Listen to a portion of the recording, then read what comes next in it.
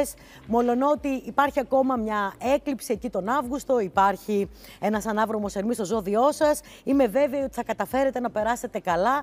Μετά τις 7 Αυγούστου μπαίνει και η Αφροδίτη στο ζυγό, άρα θα ευνοήσει πάρα πολύ τις επαφές σας με τους άλλους, θα ευνοήσει και στον τομέα των, των ερωτικών και τις διαβρομές και τα ταξίδια.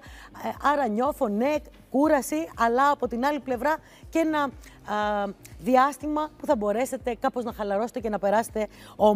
Μέχρι τις 13 Σεπτεμβρίου γενικά σας ξαναλέω, παρά το πλαίσιο κάποιων δυσκολιών, έχετε ένα ικανό διάστημα για να ξεκουραστείτε και έτσι να γίνετε πιο ευδιάθετοι. Μετά τις 13 Σεπτεμβρίου ξαναξεκινάει ο αγώνας με κάποιο τρόπο, μπαίνει ο Άρης στον Ιβροχό. Δεν υπάρχει αλήθεια. Πάμε να